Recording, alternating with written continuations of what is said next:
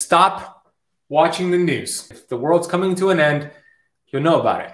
End toxic relationships, relationships that drain you. Stop having a, sedent- a sedentary lifestyle. Move around. Movement is more important than exercise. Stop playing it safe. Live a life on purpose with your purpose. Who cares what people think of you? Nobody's living your life but you. And when you are inspired, you're healing. Motivation is a symptom.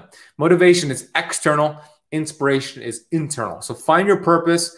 What is your purpose? And then live on purpose with your purpose. And then stop being comfortable if you're not living life on the edge, you're taking up too much space. That idea, that relationship, whatever it is that you're thinking about, do it. Don't try it. Trying is failure with honor. Just do it.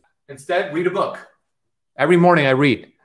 This morning I was reading Dr. John Demartini. Listen to a podcast. Listen to the Keto Kamp podcast. We don't talk just about keto and fasting. We talk about everything because health is holistic. Have a gratitude journal. Whatever we appreciate appreciate. So find gratitude in your life. I write down gratitude every night and every morning before bed. Get rid of the crabs in your life.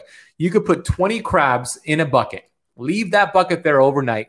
Come back the next day and all 20 crabs will be there the next day. They will try to escape but the other crabs will pull it down claw at it and keep that those crabs there because misery does love company so who are the crabs in your life and preventing you from breaking free hug somebody for 10 seconds. When you hug somebody for 10 seconds, you release oxytocin. We want to find ways to release oxytocin.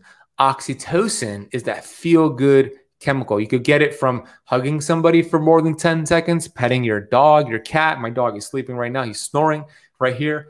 You could watch a funny TV show, a funny movie. These are important ways to heal the body and let your body burn fat.